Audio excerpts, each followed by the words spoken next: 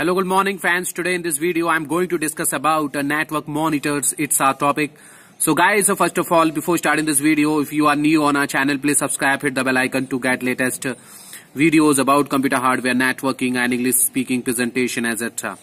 Anyway, let's discuss about uh, uh, network monitors. Fans, you know, network administrators use network monitor to view and detect problems on local area. Networks LANs uh, network monitors and give information related to traffic that is uh, flowing back uh, and uh, forth from the network. Adapter the information obtained can be used for analyzing the traffic pattern and uh, thus help in uh, prevent uh, preventing diagnosing and or resolving various network problems that may occur. Network monitor also allows gathering of data that is relevant. For example you can set uh, filters in network monitor to capture only a specific type of uh, information.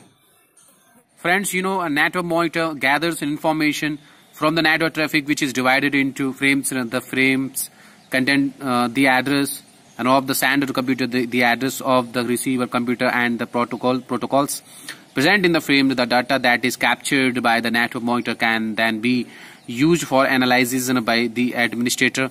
The task of analyzing the information can be simplified by modifying.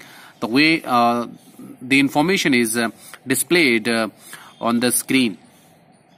Best practice run a network monitor when the processor uses is low so that the performance of your computer will not be affected by network monitor.